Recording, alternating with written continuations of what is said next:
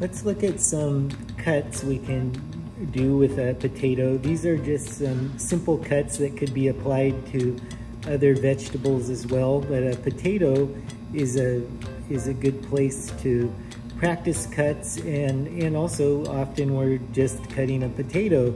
Um, so here I have a peeled potato.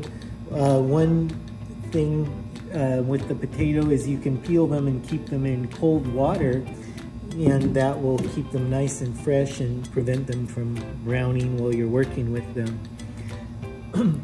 so to start, um, let's go ahead and cut the potato in half.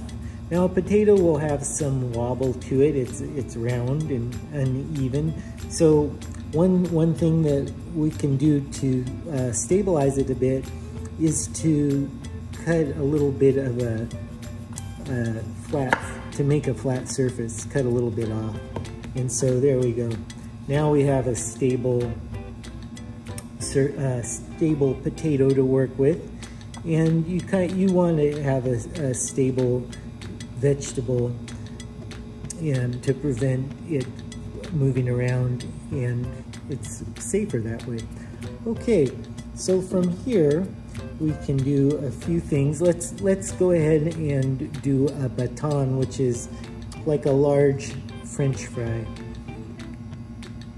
So I'm going to go ahead and cut across.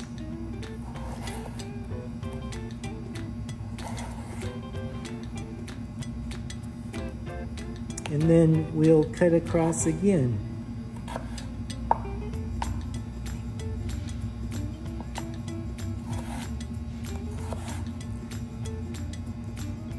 And you can do a lot of fun things with, with this shape. You could cook these and build a stack like this.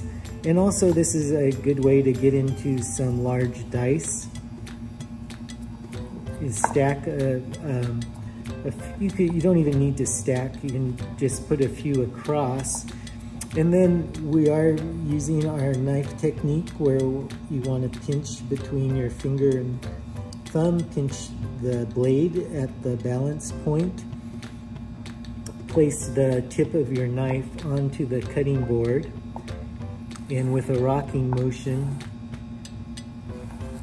cut across your baton and you have some large dice here. So this is large dice and dice is just that, it's the shape of a, a dice. We can go ahead and take this other half of the potato and I'm going to cut it a little bit thinner.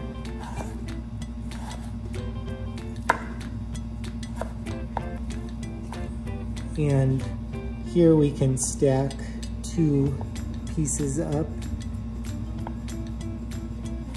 and then slice lengthwise. And here we have some julienne. Another thing we, you often uh, need a potato for is uh, just simply sliced. So once again, I want to create that flat surface. So I'm taking just a small sliver off and that stabilizes the potato. And then we can slice right across the potato and you can control the thickness by moving a knife in either direction. So here's a thick slice and I started off with a thinner slice. But the potato you can see is quite stable using my knuckles to keep that blade where I want it.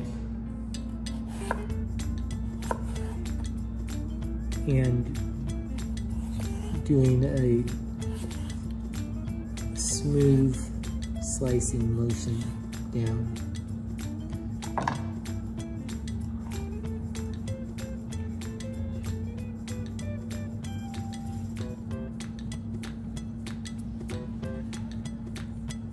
And there's some different ways to get into a potato or other vegetables.